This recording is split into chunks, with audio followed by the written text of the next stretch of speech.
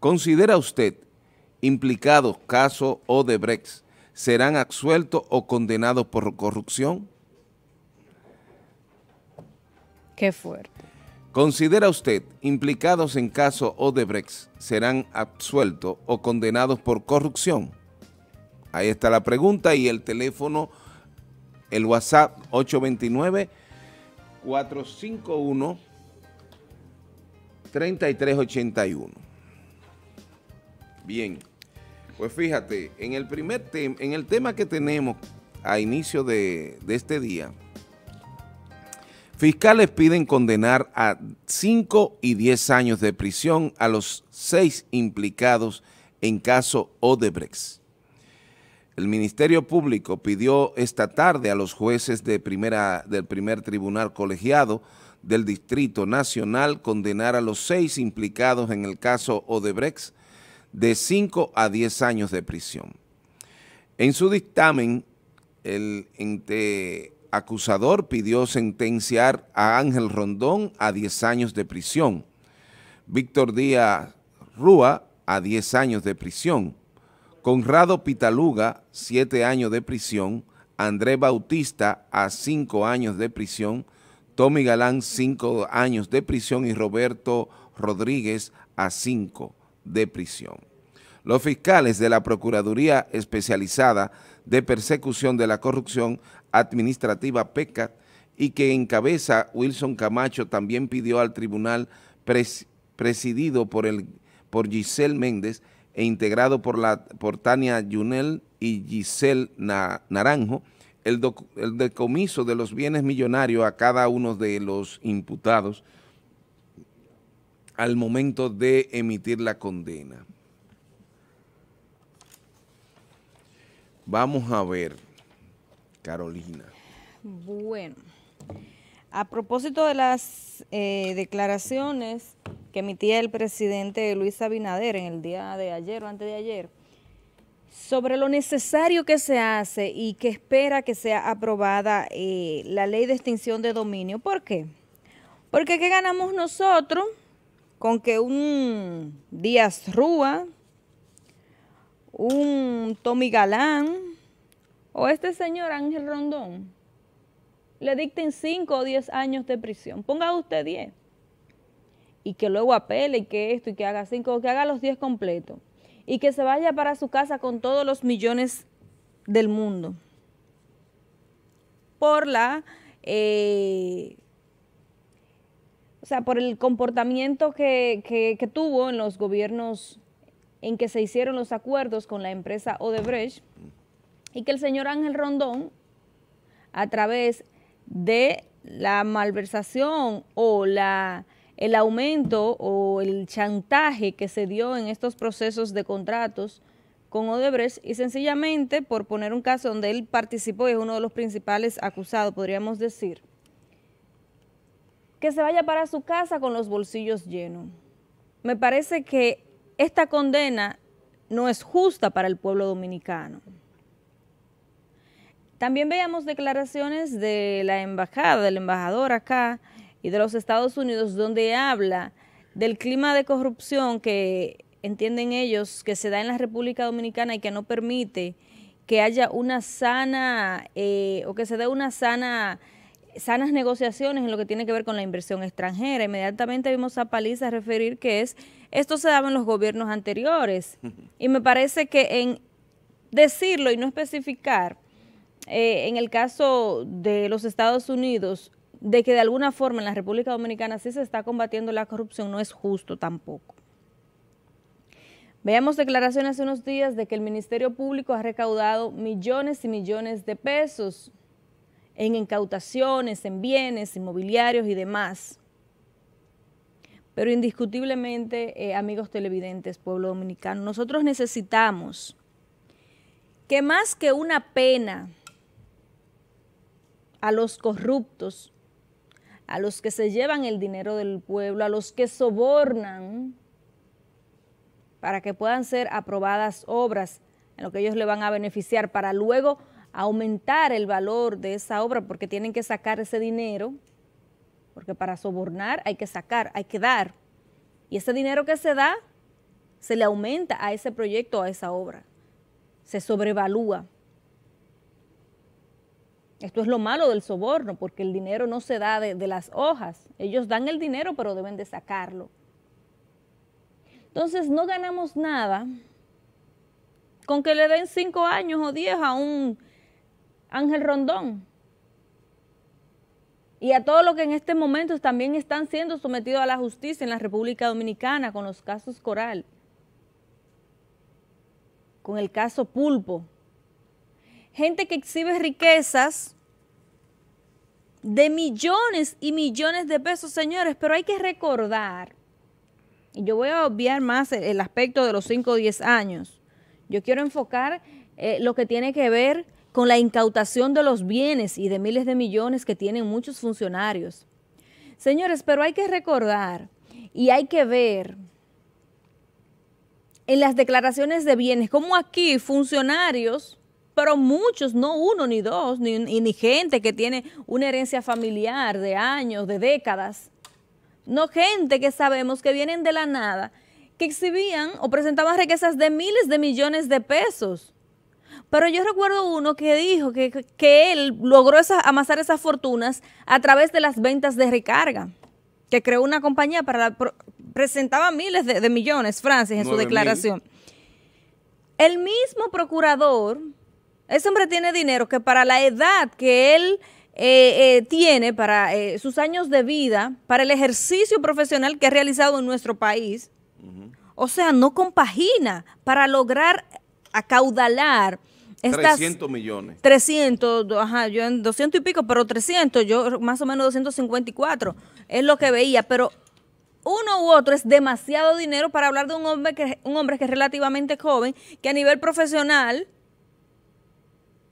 no se le conoce un historial de que descubrió un producto, de que, que no estaba en el mercado, que fue un impacto, algo innovador, de que tiene una vida profesional exitosa, por poner un ejemplo. Otros tantos.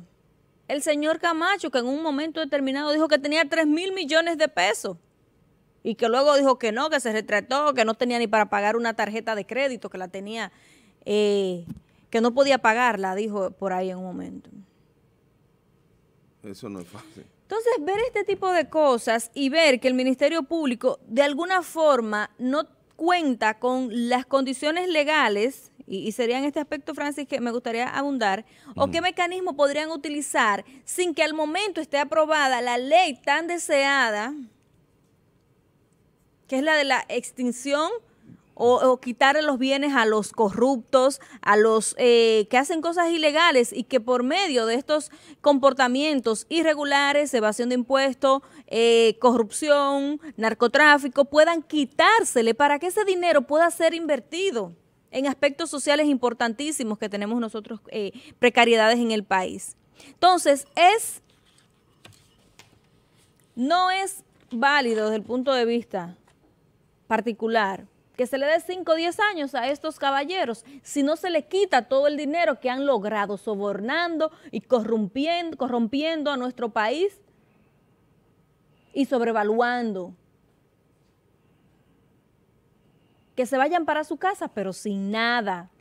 Es más, que no le den años, que no le canten años, pero que le quiten todo, que lo dejen desde cero, sin nada en el bolsillo. no, es, fácil, Carolina. Mira, hay que recordarle a la población que ya para el año 2016-17, a donde operaba Jan Alain, y ya en el 2012 se estaba destapando el caso de Brex o Lavajato en Brasil. Se hicieron unos acuerdos aquí en el país posterior a, a las requisas y apresamiento en la que se le daba a Odebrecht una especie de salvoconducto o arreglo eh, donde ellos estarían dando todas las informaciones requeridas para el país poder llevar a cabo ese proceso o ese juicio. Finalmente o manipularon porque no son todo lo que están, ni son todo lo que son, lo que están siendo juzgados. A partir de ahí empieza mi frustración y mi falta de fe en este tipo de proceso que desde entonces sabemos fue manipulado por el propio Jan Alain por indicación de las altas dirigencias del país. En ese momento gobernando Danilo Medina. Y si le puedo recordar, Danilo Medina fue un presidente que alcanzó el poder al momento en que el PLD y Leonel Fernández, apoyados en la retórica de darle paso a otros dentro del PLD, y ese otro era evidentemente que Danilo, porque Leonel no optó por la reelección ni optó por la transformación de la Constitución. Estoy haciendo un breve, simplemente para llevar y recordar que Danilo Medina no poseía en ese momento más que un activista que vemos ahí en esas imágenes que era Joao Santana, que fue pedido en el 2015 aquí en República Dominicana, pero ya estaba aquí en el país desde 2012, porque cuando Danilo Medina era candidato, hizo aquella visita junto a José Ramón Peralta, la pueden buscar, y me gustaría que el máster nos lo busque en algún momento porque lo voy a mencionar más adelante. Y quien lo recibe en un parqueo, que está en la foto, yo le he presentado, es Joao Santana, el brazo importante o, el ejecutor del creador de presidente en América Latina a través de los fondos de Odebrecht. Odebrecht captaba lo que eran más potables, lo que estaban vía de ser presidente, y cuando eran presidente, entonces Joao Santana le hacía toda la campaña esta que nosotros conocemos, que a cada momento te van dando referencia a las redes sociales, las, las bocinas. Aquí se pagaba miles de millones mensuales y de la y del Ministerio de Educación le daban 150, un millón, que si yo, cuántos mil pesos a Joao Santana, señores, que estaba en el palacio, salió preso desde el palacio, del lado de Danilo Medina. ¿Por qué? Porque Joao Santana, todavía el hijo estaba aquí cuando estaban en la campaña última, donde perdió. Pero Yanalay no vio nada de eso. Pero ¿qué resulta? Que si le sigo diciendo es para que entiendan que no están todos juzgados lo que son. Y es por lo que hemos perdido, ha perdido credibilidad el caso de Bre, para mí. Porque ellos armaron un mamotreto. Buscaron de cada, de cada sector político que le adversaba en ese momento y utilizaron el caso de Bre, que se le explotó en sus manos porque tenían el principal pecado que es Punta Catalina, que ni ha tenido ni tenemos la capacidad para operar, parece ser porque ya el gobierno ha anunciado que lo operará una empresa privada, aunque siga siendo del Estado. Pero esa planta Punta Catalina que debió determinarse en no más de un millón, de 1.040 millones de dólares, anda por los 5 mil en ese jueguito, en ese jueguito y vamos a estar detrás de Tommy Galán, que era, que era senador, que no era administrativo, que no tenía nada de administración, que puede responder a intereses de la nación, eh, las obras que, que hacía Odebrecht y levantar la mano en el Congreso para darle paso. Más de 40 nombres poseía aquel momento. Había un listado. El listado de Odebrecht. ¿Y qué fue lo que la República Dominicana decidió? Hacer una negociación supuesta, de Jean Alain la presentó, para no perseguir a la compañía, pero la compañía estaría dando, primero, declarándose culpable aquí. dándole una condena y suspendiéndola. Y el archivo, si daban esos datos. De eso nadie sabe. Pero recuerda, Francis, que en esos acuerdos que hizo el Ministerio Público con Odebrecht, había un dinero que había que pagarle, como por daños y perjuicios, algo así. Supuestamente eh, lo a la compañía. eso nosotros perdimos, eran 90, 92 millones. 92 millones. Era el eh, duplo. Esas cosas como esta, señores, es que recordar solo este caso de Odebrecht y la gestión del procurador Jan Alain. O sea, lo incapaz que fue, por decirlo bonito, ¿verdad? Lo incapaz, pues, ineficiente que, fue en su gestión como procurador. Señores.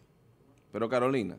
Es que lo mucho. él, no, él no fue que llevó el proceso de Odebrecht hasta el punto que hoy está siendo concluyendo en la primera etapa y el propio que lo llevó está preso. ¿Qué deviene de lo que es el árbol, de la fruta del árbol envenenado? Todo lo que venga de ahí es nulo. Y cuando aquella vez se enfrentó a Miriam Germán, es que Miriam, como jueza de lo penal, y teniendo a mano el mamotreto, porque ello hay un proceso, hay un proceso, pero era un proceso que no se quería dilucidar, era un proceso que no se quería llevar por la vía correcta, porque lo implicaba a él, a todos los que estaban en el gobierno. Usted, usted está loco, cuando las principales obras se hicieron en esos periodos. Y hay que decir que no solo fue el caso de Punta Catalina, que es la obra insignia del presidente Medina. De él propia. De él, y que hemos visto que realmente eh, ha sido un desastre en muchos aspectos. Adiós, pero lo, de los dos reactores que llegaron. Mira, la sobrevaluación. se quemó uno supuestamente, pero para mí, ellos aceptaron, como era un negocio turbio, un negocio de, trampa para el país, y de ellos ganarse los cuartos, no dudo que ese reactor, ellos lo pagaran sabiendo que, estaba, que estaba quemado y que lograron luego comprar otro. Mira, Francis, soborno, sobrevaluación, una cantidad importante de funcionarios ligados a esta obra insignia del presidente Medina lo poco factible que se entendía o que se entiende que es, porque tenemos que en los países este método o mecanismo de generación de energía se está dejando atrás, se está dejando de lado por la contaminación ambiental. hay que ver todas las cenizas y, residuos que hay en esta zona. Señora, nosotros vimos unas imágenes impactantes. Otra de las cosas... Ustedes, ya está produciendo. Ustedes recuerdan, sí, ustedes recuerdan que cada vez que se iba a encender la bendita planta, algo pasaba. O sea, todo esto que se dio alrededor de este proyecto insignia del expresidente, te dice que no estaba bien. La iniciativa, el proceso de eh, licitación, el proceso de construcción, el, precio, o sea, todo, todo, desde un principio lo que tiene que ver con Punta Catalina estuvo dañado, estuvo viciado y el presidente Medina lo sabía, porque no puede hacer que como su hermana dijo en un momento, era el hombre más informado de este país, no tuviera conocimiento de lo que pasaba Pero acá él mismo fue que lo defendió, Carolina, a capa y espada, y te voy a decir una cosa, Joao Santana, el hacedor de presidentes. El hacedor de presidente era la palabra que estaba buscando. Que salga de tu casa preso y tú, con tu cara muy limpia, seguir en el país promoviendo una reforma a la Constitución, promoviendo una reelección. Estaba loco, estaba loco. La, única palabra que hay que decir para el comportamiento final, Francis, de Danilo Medina, que estaba loco, perdió la, noción de las cosas porque esos datos que él recibía, lo primero que hizo Joao Santana fue crear la campañita de descrédito contra Leonel, que era el candidato a vencer internamente. Hasta, hasta el punto que se trajo a, Quirino, se le buscaron mil formas para destruir moralmente, que hoy se está revirtiendo en contra de los que le han causado, los que intentaron hacer ese daño.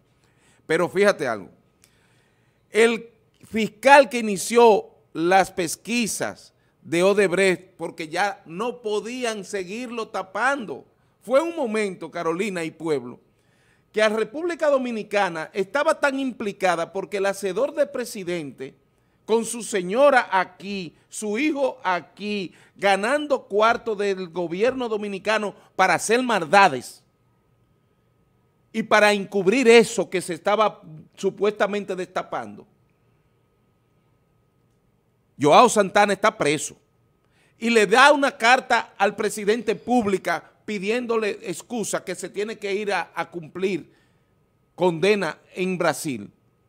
Y sale del palacio y quedó su hijo. Y ellos se conectaban por teleconferencia diariamente. Eso quiere decir que si tú no reaccionas y te desprendes de esa gente y sigues con esa gente, que tú eres, una, tú eres un hombre de mente perversa y, y descalificado totalmente para la vida pública nacional. Es, lo que vimos en, los siguientes Pero eso nadie lo quiere en el siguiente comportamiento o en los siguientes comportamientos en torno a la figura del expresidente Medina. Señores, nosotros solamente debemos de recordar, y hay gente que dice que no le gusta, que no se puede hablar del pasado, que el pasado quedó ajá, ajá, pero el resultado que tenemos hoy pero el resultado que tenemos hoy de toda esta corrupción, de toda esta gente que está siendo sometida a la justicia, es porque hubo un comportamiento eh, malvado, bellaco, en contra de este país, señores. No fue cualquier cosa lo que se estaba dando en la República Dominicana, ni en la más alta ah, eh, imaginación o la más gran imaginación que pudiéramos nosotros tener, que siempre nos han interesado estos temas en lo que tiene que ver con el debate con la persecución a la corrupción, pensamos el nivel en que se estaba dando la corrupción en la República Dominicana. Carolina, que hay que decirle y recordarle a la población, que ese Joao Santana, esa señora, usaba unas mochilas, unas mochilas muy bonitas, en las cuales cabían 500 mil dólares justo. Desde República Dominicana, la oficinita que buscaron aquí, cerca del Palacio, se preparaban de a 500 mil dólares y de aquí iban a Ecuador, iban a, a donde están presos los presidentes y, los, y las vicepresidentas y los senadores. Sí, a funcionarios de alto nivel, funcionarios de alto nivel. Y le quitaron sus bienes. Aquí involucraron al presidente del PRM en aquel momento porque había que debilitar al PRM, que hoy es gobierno. ¿Lo recuerdan? ¿Eh? Porque el PRM, Félix Bautista, eh, ¿cómo es? Andrés Bautista, implicaron a Chubasque, hoy ministro de Interior y Policía, que fue senador por Nagua. Implicaron a Temito Clemontaz, a todo el que ellos quisieron extorsionar y tuvieron que, la justicia lo vomitó parece, porque era una ingesta, era una ingesta envenenada que hoy Chu disfruta de su libertad y nadie puede juzgarlo ni perseguirlo por eso, porque fue una trama para debilitar a un partido que se veía ser el partido a vencer. Y de hecho lo demostró porque hoy son gobierno. Pero, también está Tommy Galán, que no se, no se ajustaba a la línea de Danilo. ¿Mm? Y todo el que se ajustó a la línea de Danilo está fuera de lo que era interno, porque Temo, hasta presidente interino eh, es del PLD. Eh, Temo no, no solo se ajustó, amenazó, amenazó desde la victoria o de Senajayo, ¿dónde era que, que es una irresponsabilidad de él, porque ya después que está implicado, yo lo hago y desato la, eh, Y él dijo, no, porque ese dinero fue para el partido. Hizo una alocución en ese sentido. Ese bueno, dinero era es lo mismo que le pasa a Díaz Rúa, que, era el gerente financiero del partido. Que no lo manejó para él, esos recursos. Pero bien, eh, estos comportamientos que nosotros vimos en la gestión pasada y este comportamiento que nosotros vimos del ex procurador, señores, yo me preguntaba, yo decía, pero ¿y por qué es que no hacen nada? ¿Por qué es que no es posible crear? Ustedes recuerdan el aparataje que se hizo, que luego quedó en nada, porque veíamos, vimos que ese listado de los supuestos cantidad de acusados importantes... Eran, eran 39. Eh, quedó y en, en, principio ellos llevaron 17 o 27 o 20 y pico. Una, sí, más o menos, en eso era que andaba la lista. Y es lo que yo digo. Tú ves cuando tú comes algo que el estómago, el, el cuerpo lo rechaza, tú Entonces parece ser que lo expulsó. La misma justicia expulsó a los que no están porque era un mamotreto que hoy se han quedado con estos siete y que el tema de hoy, ciertamente, aunque yo me salí eh, drásticamente porque hago una crítica al, al proceso y le hago un juicio al juicio. Hoy estamos con estos, pero son más. Total. Y los que realmente se beneficiaron son más y están fuera. Y no se le puede perseguir. Y temo debió de estar de vuelta al proceso para que se pusiera en órbita. Y hoy se le piden 5 a 10 años entre estos implicados. Pero es lo que yo digo, Carolina. No me conformo con los 5 o 10 años de estos cuando hay una lista y nosotros reconocemos que de aquí operaba de República Dominicana cuando se destapó en Brasil. Que no solo es Operaba la oficina de, soborno de Odebrecht para América Latina. Francis, estamos y hablando... Y el hombre estaba al lado de Danilo y nada pasa aquí. Cuando hablamos de la cantidad de funcionarios involucrados, eh, solamente hemos enfocado, hemos enfocado a Punta Catalina, pero la cantidad de carreteras que construyó esta empresa maligna en nuestro país, sobrevaluada, sea, no fueron una ni dos. Y hay muchos funcionarios, sí. Es claro, el soborno. pasamos años, mueren gente en luchas callejeras, eh, en reclamo. Después que se da el primer paso de consensuar la obra, y si la obra está en mil millones, que termina siempre en República Dominicana, en todos los gobiernos. Esa es la sobrevaluación, porque ese dinero del soborno hay que sacarlo. Entonces, eh, esto, señores, esto debe de llamarnos a nosotros, a los dominicanos, a una profunda reflexión en lo que tiene que ver con el comportamiento de la justicia, con la que teníamos, porque yo pienso que nosotros no podemos olvidar nuestro pasado, y mucho menos cuando se trata de cosas tan malvadas, que han ido en perjuicio de nuestra población, de nuestros jóvenes, de nuestro sistema de salud, de nuestra seguridad, de garantías de viviendas dignas, señores, de educación. O sea, ¿cómo yo voy a olvidar esto? ¿Cómo lo voy a hacer? Entonces, eh, Francis, esto nos debe de llevar a nosotros a una reflexión de un sistema de justicia totalmente fallido que nosotros teníamos. Pero ojo, Ojo, amigos televidentes, estar muy vigilantes y muy pendientes al comportamiento de este Ministerio Público que se entiende que es independiente y que está haciendo un buen trabajo en la medida de lo posible y del comportamiento que va a tener el Ministerio Público, porque nosotros somos de lo que creemos, yo creo en la gestión de Miriam Germán. Pero entonces, en la medida en que pasan los años, en la medida en que pasa el gobierno de Luis Abinader, es que nosotros vamos a confirmar y a, engrandecer más esa confianza en la mano de Miran y todo el equipo que está trabajando estos temas de corrupción, de que el que intente, de, de que el que intente en el gobierno de Luis Abinader y del PRM hacer lo mismo que hicieron estos bellacos que crearon una estructura mafiosa que crearon una estructura mafiosa para acabar y beneficiarse de los recursos de nuestro país sin importarles nada, que se intentan hacer esto, los PRMistas sí mismos sean llevados al paredón de la justicia, que sean sancionados, pero que se le quite todo el dinero. Y en los próximos años, y en el gobierno de Luis Abinader, nosotros debemos de tener eh, esa garantía. Yo estoy de acuerdo contigo. Y te voy a decir una cosa, yo creo que estamos dando el paso como país porque que como sociedad que en ocasiones nos comportamos de doble moral, porque criticamos la corrupción, pero nos gusta a los dominicanos tener a alguien que nos ayude con algún tipo de permiso de alguna situación o lograr algunos beneficios.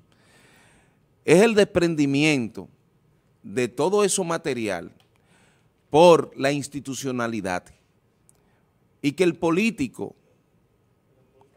que ose ir al Estado con el propósito de resolver un problema económico suyo, personal y familiar, se ha castigado drásticamente. Y se ha proscrito de que no pueda estar en ninguna posición, porque otra cosa, ojo, Carolina, a todo esto uno se pregunta, los casos que en una entidad pública se han dado, se han sacado a esos compañeros del partido y se han llevado a otro lugar donde no son visibles, pero siguen en el Estado. ¿Tú te fijas? Es decir, que eso no se puede. el que comete falta en el Estado debe ser limitado a ir a otra función por mínima que sea. Por mínima que sea. Entonces, a lo que hoy nos ocupa y la preocupación o la pregunta que ha dicho, que ha dado la producción hoy, me salí porque quise recordar cuál fue el proceso desde el inicio 2012 cuando Danilo fue a, Brasil, a quien visitó fue a Dilma y tuvo una visita del lobista que estaba condenado en aquel momento, aunque ya hoy está suelto, el expresidente Lula, pero también la visita que hiciera como jefe de Estado, que para mí fue el gran error de Danilo y cayó en la trampa, a Odebrecht, a Brasil y se vio con Marcelo Odebrecht y quien lo acompañó a todas esas visitas, aparte de José Ramón Peralta, que no se sabe dónde está, fue Joao Santana, que posteriormente cuando se destapa en Brasil